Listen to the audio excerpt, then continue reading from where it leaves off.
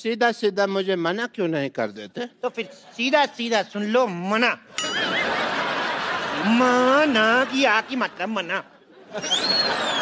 माना बड़ी माँ की यात्रा। तुमने